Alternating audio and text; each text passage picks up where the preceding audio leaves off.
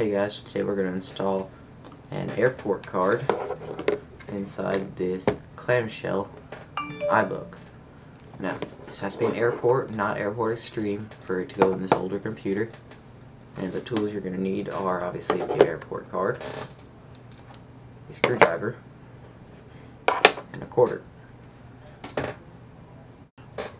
We start at the bottom of the iBook with the quarter, put it in each of these slots, rotate, rotate, lift off the cover, and then you'll see this plastic tab here hold the battery out. Comes out like that. Set all that aside. Now we're back on this side. I have to take the battery out. Go ahead and open it up. And then you're going to want to take a screwdriver with a flat tip and put it between the F4 and the F5 key. There is a little screw in here. And you want to rotate that to the unlock position and you'll feel the keyboard kind of shift down whenever you get it. Just rotate left and you'll feel it kick down. And then there are two tabs here and here. Pull those back with your fingers and then lift up. The whole keyboard comes out. This is as far as you need to go. Now you're going to see a little hook here. Pull it back. You might think you're going to break it, but trust me, you're not. And pull it up. Untwist your antenna. Set that aside for now. Then it's time for the airport card. Put that in, upside down, underneath these rails.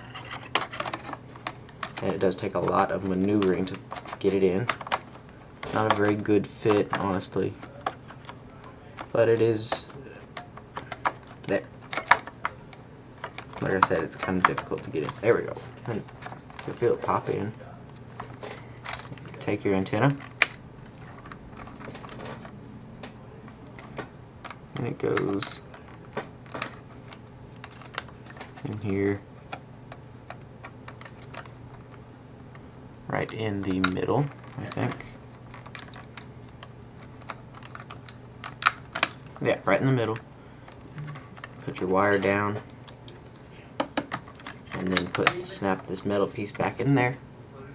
And then you just have that should be flush. Then just put your keyboard back into place. Take your flat screwdriver. Rotate to the right.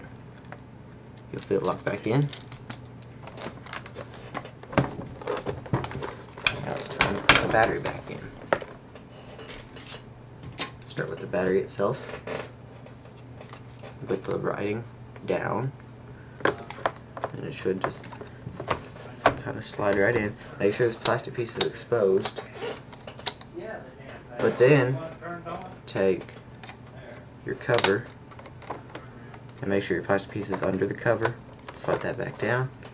Take your coin, your coin again, doesn't necessarily have to be quarter, and rotate those back together. And that is it. There's no need to go inside the computer, inside of the operating system any further, because it will just automatically see that it is an airport card installed, and you can go into your settings and get to it from there.